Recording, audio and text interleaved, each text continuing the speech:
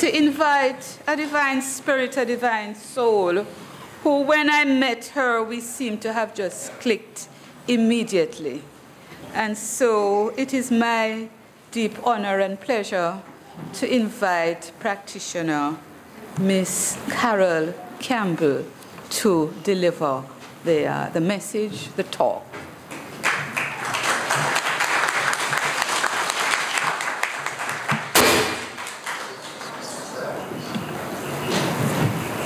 Thank you, Jen.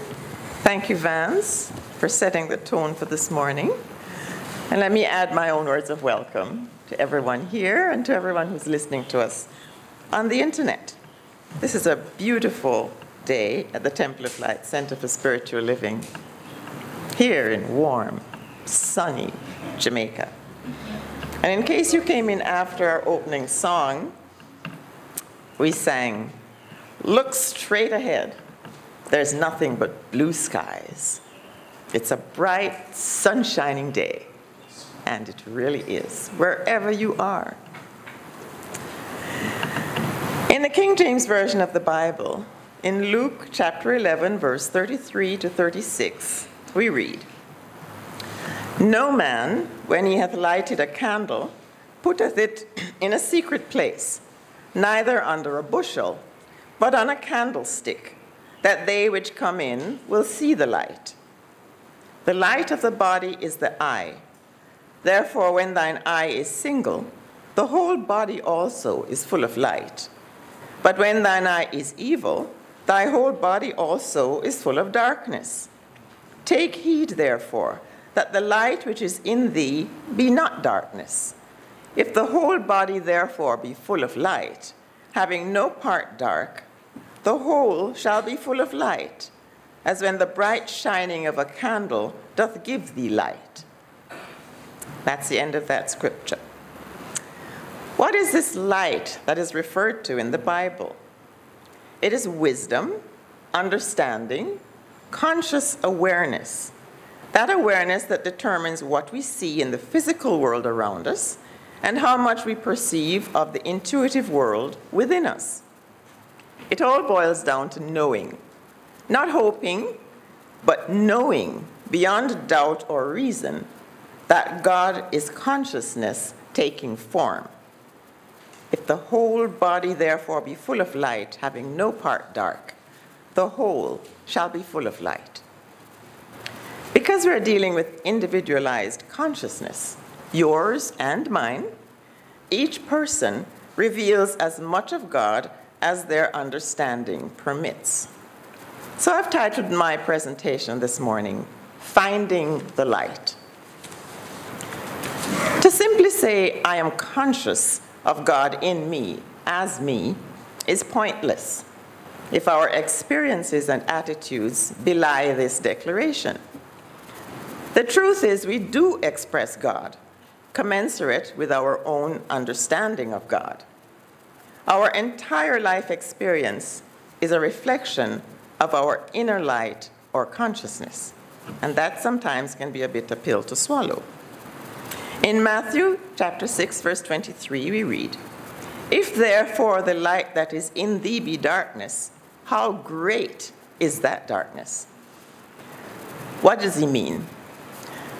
My interpretation, until and unless we begin to understand that the life of man is God, and that means our life, we will be seeing through a glass darkly, and our concept of life will be limited to the human conditions that confront us.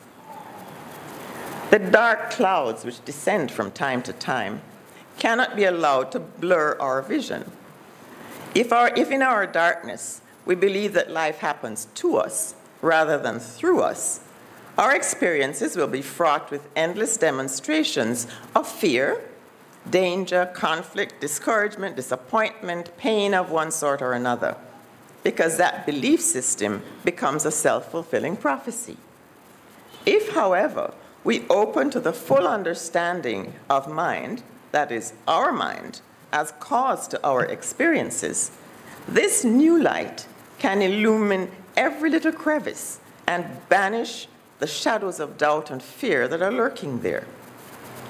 Emma Curtis Hopkins, one of our great metaphysical teachers, said it this way Our firm belief in any principle will lead to the demonstration of the power in that principle. End quote. When we become aware and understand the principle of causation as an inside job, a light bulb comes on, and being a victim is no longer an option. That's when we let go of fear and grab hold of faith, knowing that all that God is is already in us, ready and waiting to be activated by our enlightened consciousness. There is a mighty moving power for good in the universe. It is resident in man. It is part and parcel of who we are. Think about it. If we could acknowledge ourselves as unlimited beings with infinite potential, where would our excuses go? Who could we blame for our apparent misfortunes? No one. Ervin Seale, in his book Learn to Live, states, and I quote, It is the light of the mind which determines whether you see confusion and limitation or whether you see order and abundance. If through the light of your own mind you can see possibilities beyond present conditions and facts, don't let the present conditions and facts dismay you or inhibit the movement of affirmative thought through you. Don't let them put a damper on your spirits. Don't let them cover up your true understanding of the mighty power of God in man. I'd like to read you a short excerpt from Khalil Gibran's book, Secrets of the Heart. The story is called The Tempest. And what I'm reading is a conversation between Yusuf, a recluse, and the protagonist, a young lad who has sought refuge in Yusuf's home during a storm. They are discussing the meaning of life and consciousness.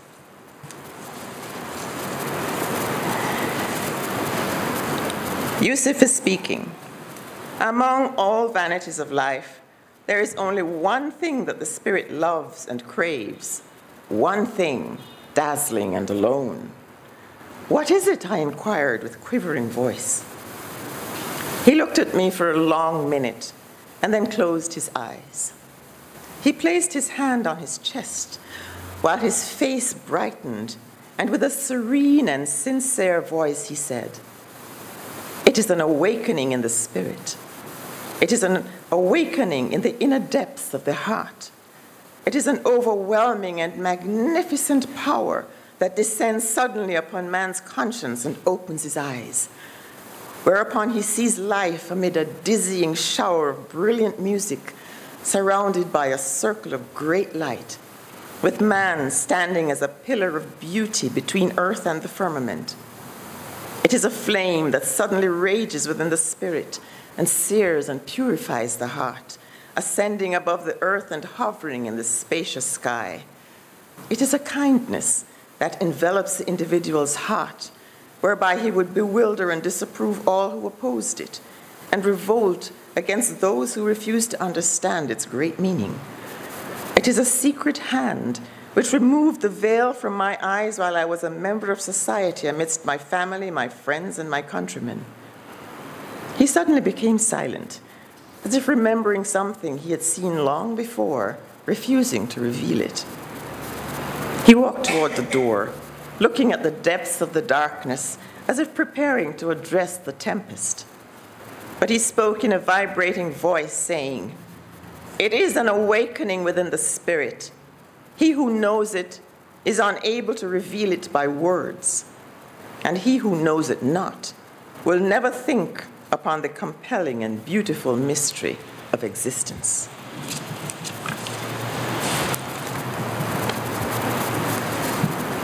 We are advised in the Bible with all thy getting, get understanding. And also, lean not on thine own understanding.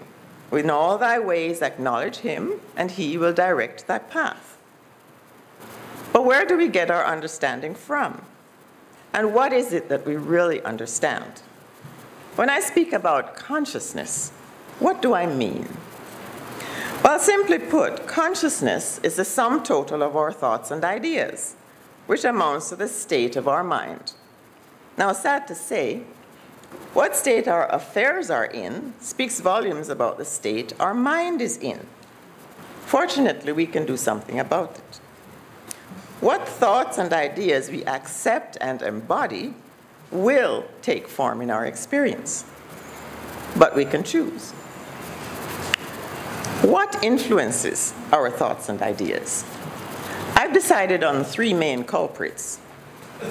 First, opinions. You know, those pesky little things that people love to throw at you. These are usually other people's opinions friends, family, teachers, ministers, books, the media. If you respect them, or if it's popular and that's important to you, you tend to accept those opinions. But do opinions change? Minutely. One man's meat is another man's poison. It's all about perspective and personal agendas. What is that to thee? Make up your own mind. Second, science. Now, science plays a big role in what we accept. Certain conclusions are arrived at through experimentation. Scientific data is collected and then presented as facts. Has science ever been wrong? Certainly because it's based on facts. And facts are not necessarily truth. Facts are flexible and changeable.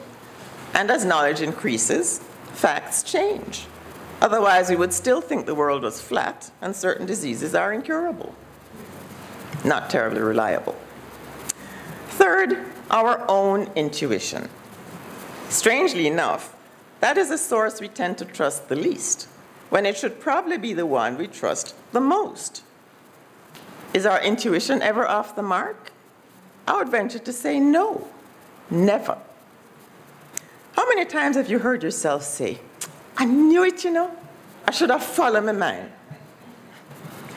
The mistake we make is not acting on our intuition because we don't trust it and we don't trust ourselves to know. But our intuition is what tells us that we know what we know when we know without rational reasoning or analysis. We just know without explanation. And this is a knowing that we feel in our gut.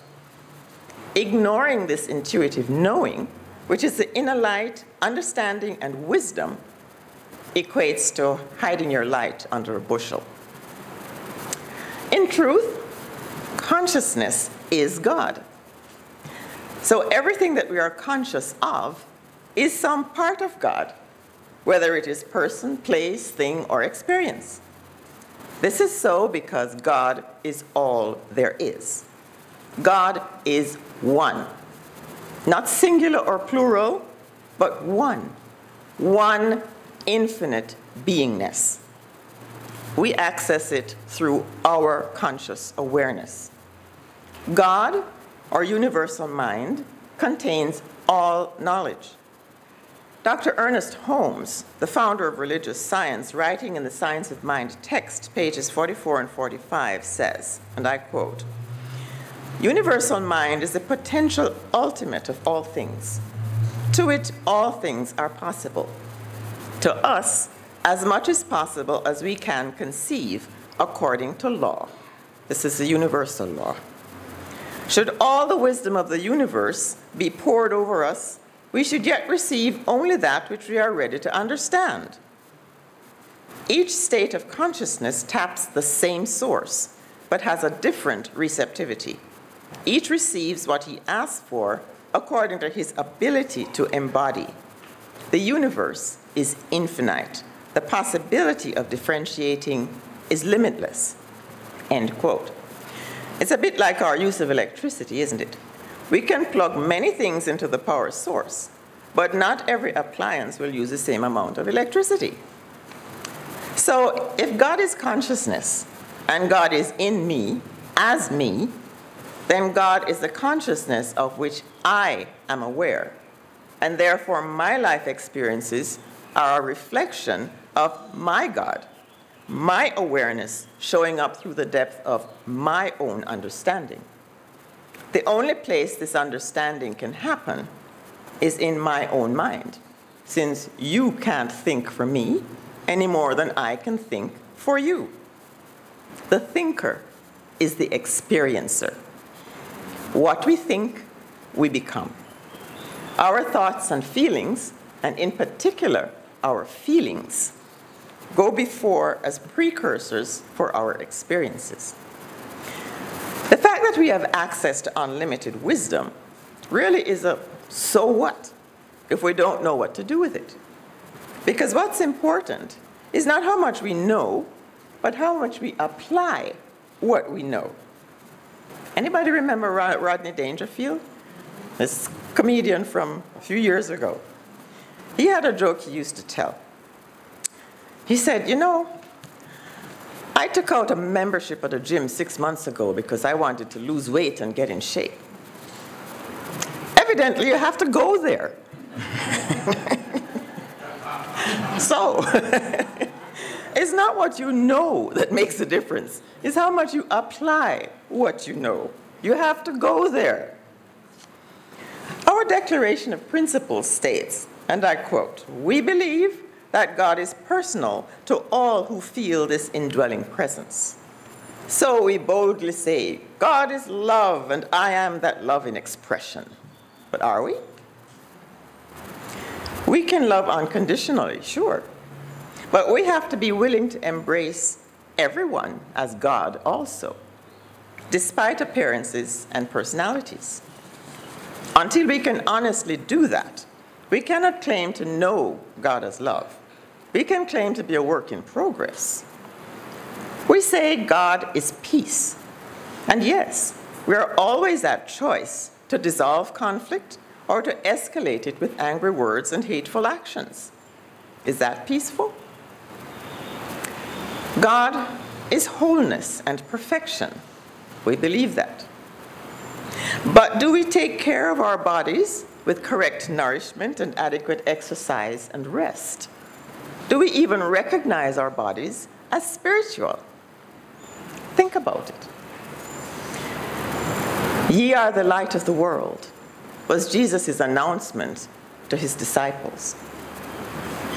Now I'm saying to you, you are the light of the world.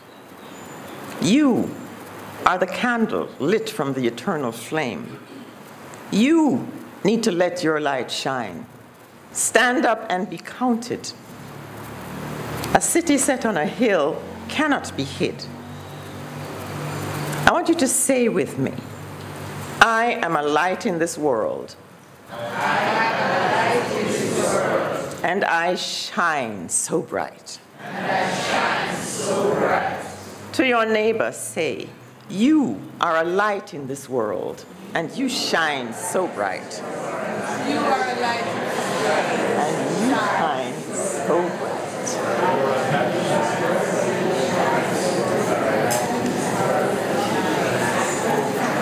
We are a light in this world, and we shine so bright. And we shine so bright. In Genesis chapter 1, verses 1 to 5, we read In the beginning, God created the heaven and the earth. And the earth was without void, and darkness was upon the face of the deep. And the Spirit of God moved upon the face of the waters. And God said, Let there be light. And there was light. And God saw the light that it was good. And God divided the light from the darkness. And God called the light day, and the darkness night and the evening and the morning were the first day. This is a new day. This is the first day of the dawning of a new awareness in us. It is good and very good. Namaste.